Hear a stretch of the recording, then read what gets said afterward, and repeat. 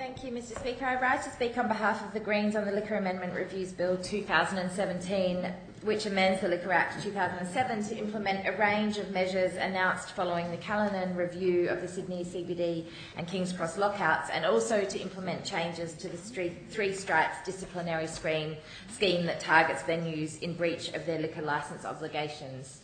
The Greens are not supportive of this bill because I think we need to look at what is happening here in a little bit more detail. It is true that what we are seeing in some parts of this bill is implementing the recommendations of the Callinan Review. And it is true that some of those recommendations have already been changed in regulations and that this bill is required in part to come before this chamber so that we can make a decision on the recommendations in relation to what was undertaken by the Callinan Review. But earlier today, I put a simple question to the Minister's office in the briefing um, that we had, and I asked where in the Callinan Review was it included that there actually was a need to change the three strikes scheme in New South Wales.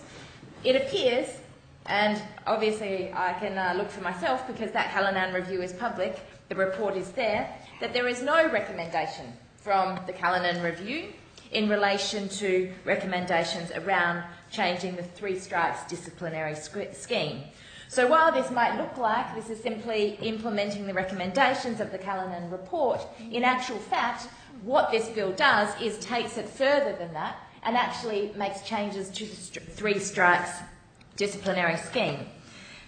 Now let's have a look at that because in practice what we saw is the regulations changed in relation to some of the recommendations in the review. We saw that the regulations changed to say small bars could increase from 60 to 100. We saw the extension. So now, you know, uh, party on, we can now have drinks uh, and the doors open in bars from 1.30 to 2 a.m.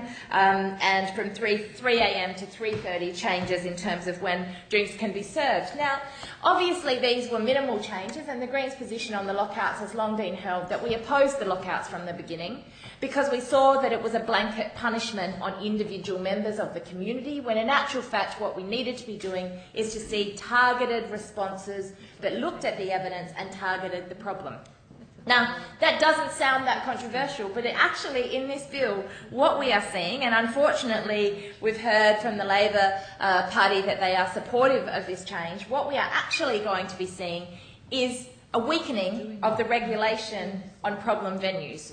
So on one hand, what we have is immediate imposition of top-down lockouts on individuals to stop them being able to go out, to stop them being able to party all night in a safe, uh, vibrant city that is Sydney. But at the same time, on the other hand, surprise, surprise, those uh, big publicans, the big venue owners, they are getting a hand up from this government and the regulations on them are being weakened. So what we're seeing here is yet another example where this government is willing to crack down on community while at the same time weakening the regulations that are targeting the problem venues. Now, I just want to point out here that apparently there has been some advice from Callinan in relation to this review, in relation to the changes to the disciplinary scheme. It is my colleague in the upper house, Justin Field, asked a question just today, asked a question just today in relation to the advice that was received by the Minister from Callinan in relation to the changes to the three strike scheme. So far, what we have in front of us is this. The government sought, at least this is what's on the record, the government sought advice from Callinan in relation to the three strike scheme. The government received advice from Callinan in relation to the three strike scheme. What we don't know is what that advice said. And when we asked for that advice to be released, when we asked what that advice said, it was not released. It's not public, and as has already been pointed out by the opposition speaking on this bill, Sean Nicholls in the Sydney Morning Herald has pointed out that this, uh, this information is not forthcoming, and as we've seen, it has been released to certain, well, at least some advice and some information that is not publicly available, not available to decision makers in this place, has been released to certain publicans and to, it seems, the Hotels Association. So I question whether or not what we're doing here is actually implementing the recommendations of the Callinan Review, or whether in actual fact we are finding a little uh, way to also uh, slip in there the ability to loosen uh, the impacts on problem venues and the way to regulate them. So let's look at it in a little bit more detail as to what this means. What this means is basically to see a change to the three strike scheme um, that began in 2012, which was designed to target licensed venues who repeatedly commit serious offences. Now, in the submission, and I think this takes us on another tangent, but let's go there. In the submission to the review of the three strike scheme in 2016, the New South Wales ACT Alcohol Policy Alliance, NAPA, said that the current scheme is falling short of its objectives. And they went on to make a detailed submission. Now, the House might also be interested to note that this submission was in relation to a statutory review that was required. Now, that statutory review was required under the uh, changes or the introduction of the three strikes scheme. The review, according to 144K, the review part of the Liquor Act 2017, that review should be undertaken as soon as possible after the period of four years from the commencement of this part, and a report on the outcome of the review is to be tabled in each House of Parliament within 12 months of the end of the period of four years.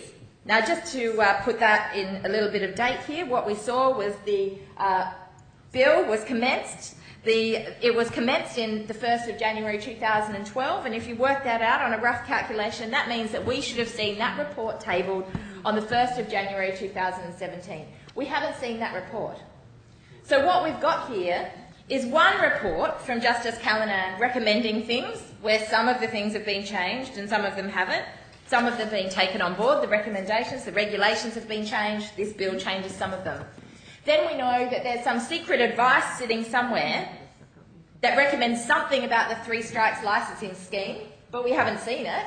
So the advice could have said, oh, actually, we think you should toughen the regulation on venues, but they're weakening it.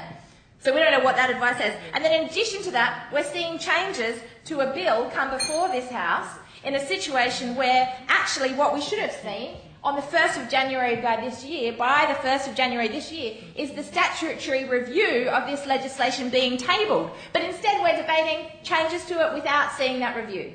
Something is going on here, something is happening here, and I don't think we have to look very far to the history of politics in New South Wales to know that there has been a long connection between the alcohol lobby between special interest groups when it comes to pubs and casinos and gaming and booze in this country and in this state, and a connection to the New South Wales government.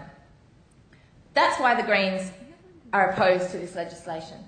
It is quite possible that the minister, who I know is in the chamber, and it is quite possible that the minister has advice that says that they could make changes. And he's waving a post-it note at me. I'm not sure whether Justice Callinan uh, wrote something down on a post-it note to him. But apparently there is advice that recommends changes to the three strike scheme. If that advice exists, I wonder why did Justice Callinan not include it in his report? And if the government has that advice now, why don't they release it to the public? It would be very useful to see that advice and to know that advice before we debate legislation. And it seems that the statutory review that has occurred, that people have made submissions to, and if you go to the website, you can see that you go to the website and you can see where they actually make the submissions. But then basically, there's no detail on who made those submissions, what happened after that, because the statutory review hasn't actually been tabled in this parliament. It was due to be tabled on the 1st of January 2017. I want to end by just talking about the fact that the Greens have always opposed the lockouts that were imposed because there were the ability to have targeted solutions to addressing alcohol-related violence. And in the Newtown electorate, we have started an initiative that brings together the New South Wales Police Association, the Neighbourhood Centre, the Liquor Accord, local businesses, local community members, to say that we want to address how we address the safety and the vibrancy of our nightlife, and that has been an absolute success.